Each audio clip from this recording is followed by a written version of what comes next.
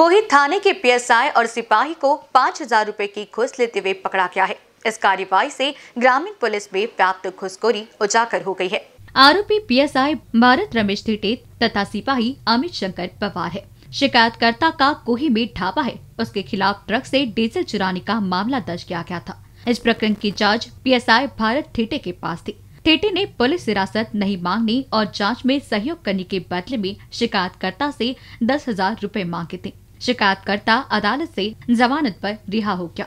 उसके बाद थेटे पैसों की मांग करने लगा। घुस देने की इच्छा नहीं होने से शिकायतकर्ता ने एसीपी अधीक्षक रश्मि नांदेड़कर से शिकायत की। शिकायत की पुष्टि होने पर एसीपी ने आरोपियों को पकड़ने की योजना बनाई।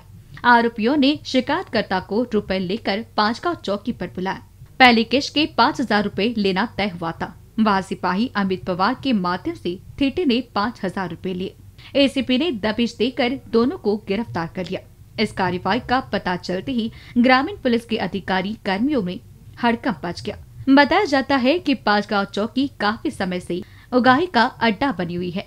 रेत और मांस तस्करों से हर माह लाखों रुपए की उगाही की जाती है। यह सौदेबाजी पांचगांव चौकी में ही होती है। यह कार्यवाही एसीपी अधीक्षक रश्मि नांदेड़कर, अपर अधीक्षक मिलिंद तोत्रे के मार्गदर्शन में की गई। बीसीएन न्यूज़ के लिए कोही से संजय अतकरी की रिपोर्ट।